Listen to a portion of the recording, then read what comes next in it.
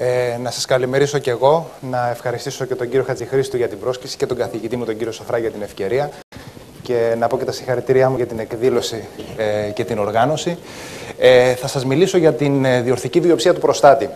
Ε, μια πράξη επεμβατική η οποία είναι σε εφαρμογή, είναι σε χρήση εδώ και 20 χρόνια, μια και η πρώτη ε, διορθική βιοψία του προστάτη έγινε το 1988. Ε, να πούμε λίγο... Α, ε, να πούμε λίγο τι χρειαζόμαστε για την βιοψία του προστάτη. Πρώτα απ' όλα χρειαζόμαστε να ενημερώσουμε τον άρρωστό μας. Τι πρέπει να του πούμε, γιατί θα του κάνουμε αυτή τη βιοψία του προστάτη; Βρήκαμε μια θετική δαχτυλική, έχουμε βρει ένα αυξημένο PSA και πρέπει να το διερευνήσουμε.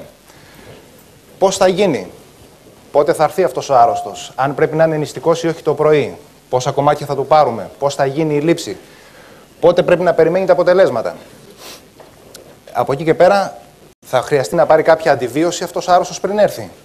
Η Ευρωπαϊκή Ουρολογική Εταιρεία με Great of Recommendation A ε, μας λέει ότι όλοι οι άρρωστοι πριν τη διορθική βιοψία του, κατά τη διάρκεια της διορθικής βιοψίας του προστάτη πρέπει να είναι καλυμμένοι με κάποια χημειοπροφύλαξη.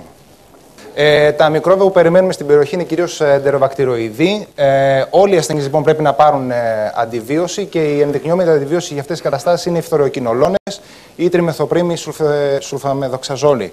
Ε, το, ε, για πόση διάρκεια θα το πάρει; Η Ευρωπαϊκή Ορολογική Εταιρεία προτείνει σύντομο κόρο 72 ώρων, ε, τριήμερη χορήγηση, η οποία μπορεί να ξεκινήσει το πρωί πριν τη βιοψία ή από την παραμονή της βιοψία. Τα σκευάσματα είναι στη διακριτική ευχαίρεια τη δική σας. Ε, τι φάρμακα δεν θα πρέπει να πάρει. Σημερινή εποχή, πολυφαρμακεία, ένα καλό ιστορικό στον άρρωστο χρειάζεται προκειμένου να ανακαλύψουμε ε, αν παίρνει πρώτα απ' όλα ασπιρίνη και χρειάζεται να διακόψει την ασπιρίνη. Ε, τα φάρμακα που δεν πρέπει να πάρει. Ασπιρίνη. Ε, υπάρχει μια πρόσφατη περσινή μελέτη από Ιταλία ε, η οποία μας, ε, μας δείχνει ότι χαμηλ, άρρωστοι που παίρνουν χαμηλές δόσεις ε, ασπιρίνης δεν είναι ανάγκη να τη διακόψουν προκειμένου να προχωρήσουν σε διορθική βιοψία του προστάτη. Τώρα, στα υπόλοιπα αντιπικτικά, όπως της κατηγορίας να τα χωρίσουμε σε αντιαιμοπεταλιακά και στα κουμαρινικά, Κατηγορία Ισκοβέρ Πλαβίξ, καλό είναι να διακοπούν πάνω από ε, πέντε μέρες. Εγώ θα σα έλεγα εβδομάδα καλύτερα. Ε, θυμηθείτε λίγο το τικλίτ, τικλίτ, τικλοπιδίνη, η οποία έχει παραταταμένο χρόνο δράσης και καλό θα είναι να διακοπεί για παραπάνω από 15 μέρες. Αν μιλάμε για κουμαρινικά αντιπικτικά, δηλαδή για συντρόμ, καλό θα είναι να, ο άρρωστο να επικοινωνήσει μαζί μας. σω χρειαστεί να ε, νοσηλευτεί προκειμένου να μπει σε υπαρίνη, σε αντλία υπαρίνη, ώστε να αποκατασταθούν οι χρόνοι και να έχουμε ένα φυσιολογικό INR πριν προχωρήσουμε στην Διοψία. Πότε θα τα ξαναρχίσει, αφού σταματήσει πλέον να έχει αιματουρία ο άρρωστος. Έτσι δεν υπάρχει κάποιος τέτοιος κίνδυνος. Προετοιμασία εντέρου. Παλιά, ίσως και κάποιοι ακόμα μιλάνε για τους αρρώστου. Κάντε ένα κλείσμα πριν έρθετε κτλ. Να είναι το έντερο καθαρό. Μελέτη του 2001 έχει αποδείξει, έχει συγκρίνει ότι δεν αλλάζει τίποτα στο αν κάνει κλείσμα ή όχι στο θέμα των επιπλοκών. Οπότε μην τους συστήνετε ούτε θέμα εντέρου, ούτε υποκλεισμός, ούτε καθαρτικό την προηγούμενη μέρα. Ε, ούτε χρήση τοπικά μπεταντίν. Δεν αλλάζει σε κάτι. Τώρα, ε, ο Άρος αφού προετοιμαστεί, έρθει σε εμάς για να το κάνουμε τη βιοψία. Καλό θα είναι να έχει, όχι καλό, απαραίτητο είναι να υπογράψει μια έγγραφη συγκατάθεση. Ε, στην ουρολογική κλινική μας ε, δίνουμε στον άρρωστο ένα ενημερωτικό σημείωμα από πριν που περιέχονται όλες οι πληροφορίες ε, και μαζί με κάποιο τηλέφωνο ε, αν δεν καταλάβει ή έχει κάποια απορία να επικοινωνήσει μαζί μας και τη μέρα που έρχεται υπογράφει μια έγγραφη συγκατάθεση τυποποιημένη του νοσοκομείου μας, η οποία περιέχει ε, 10 βασικές ε, ε, πληροφορίες για την ε, διαδικασία.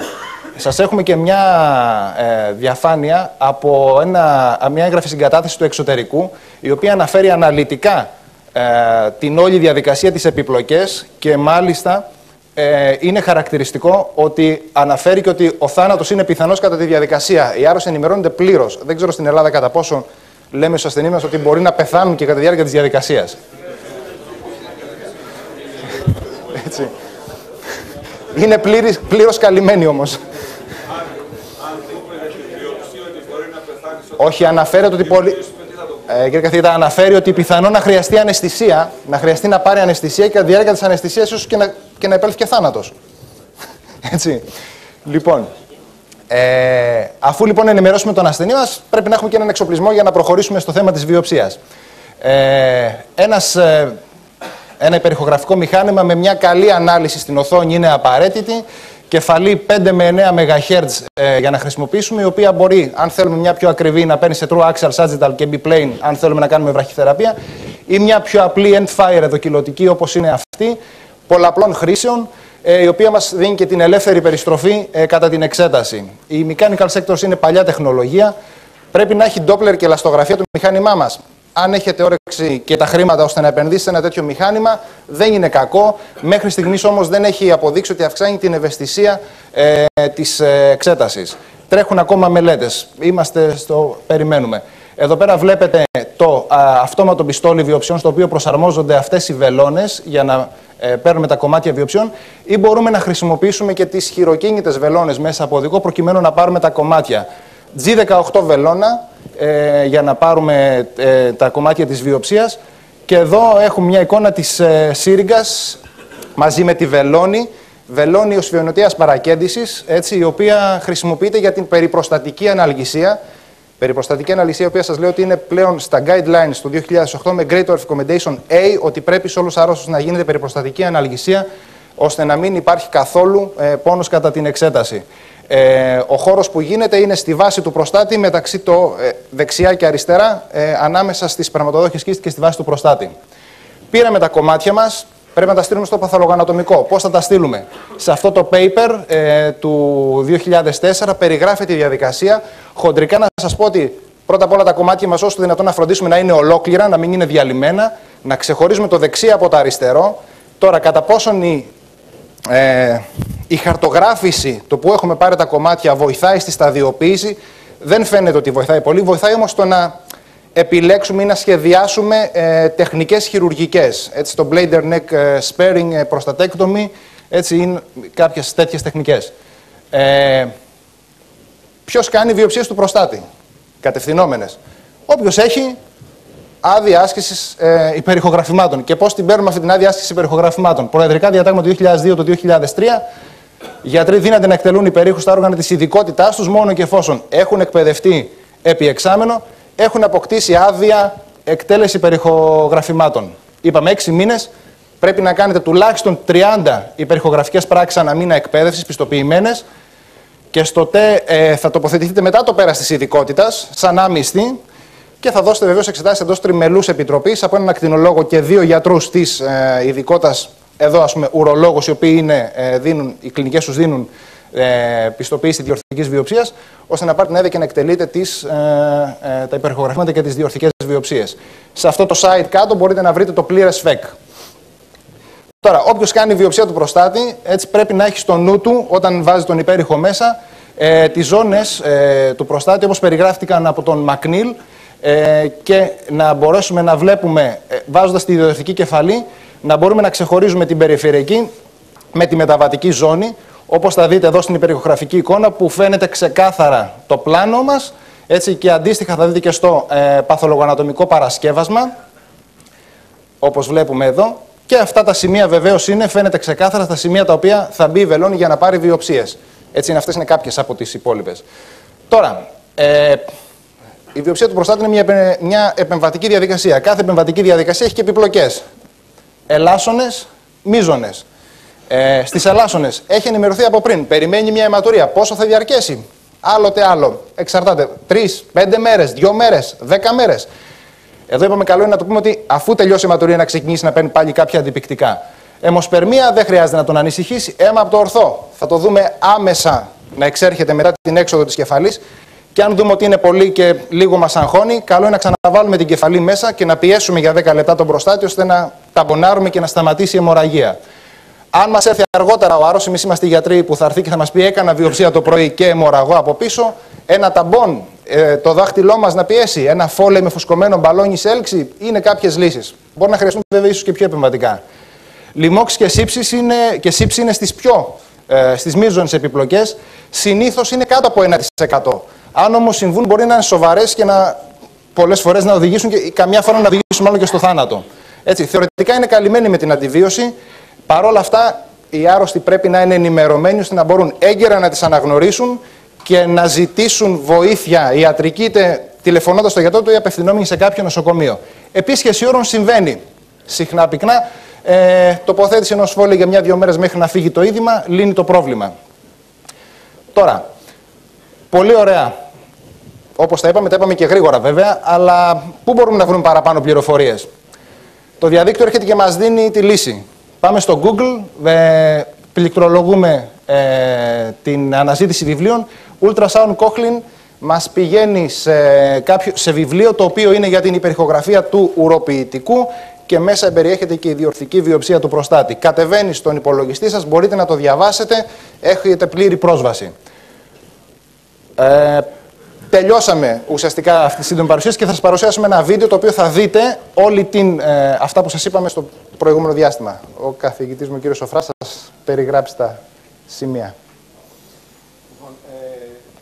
Είχα μια αρκετή δυσκολία στο να το φτιάξω γιατί ήταν της τελευταίας στιγμής. Ξεκινάμε με την διερεύνηση ε, του προστάτη. Βλέπετε τις πραγματοδόχους κίστης. Κοιτάμε ολόκληρο τον Αδένα. Ε, το σπρωματικό λοφίδιο το βρίσκουμε και βλέπετε πόσο παρόμοιος μπορεί να είναι με την παθολογανατομική εικόνα.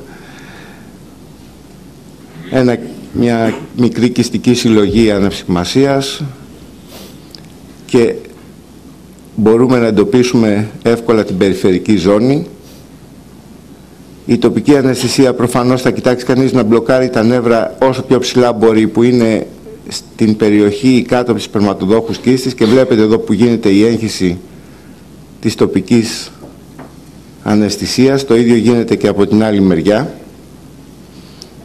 Αυτές οι εικόνες είναι από το δικό μας το νοσοκομείο. Εδώ είναι μια εικόνα η οποία είναι από τον κύριο Ζουμπούλη, Βλέπετε την παρακέντηση σε αυτό το σημείο της βελόνας και πώς η έγχυση του τοπικού αναισθητικού σηκώνει το βλεννογόνο από τον προστάτη.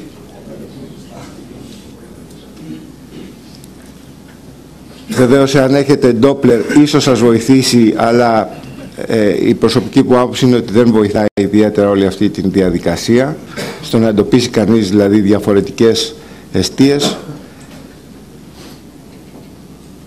Ξερνά εδώ μια άλλη εγκάρσια, ε, συγγνώμη, οβελιά διατομή με την έγχυση του, του τοπικού αναισθητικού.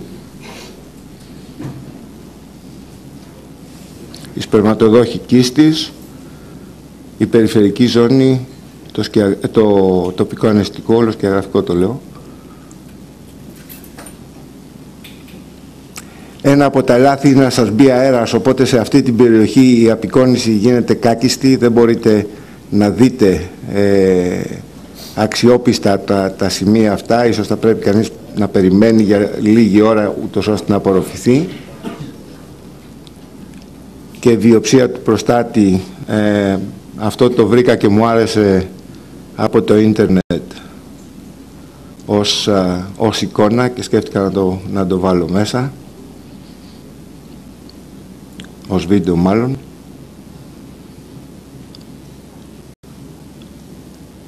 Και αφού έχετε κάνει την τοπική ανεσία, εδώ θα δείτε τη βελόνα να μπαίνει, να παίρνει το κομμάτι.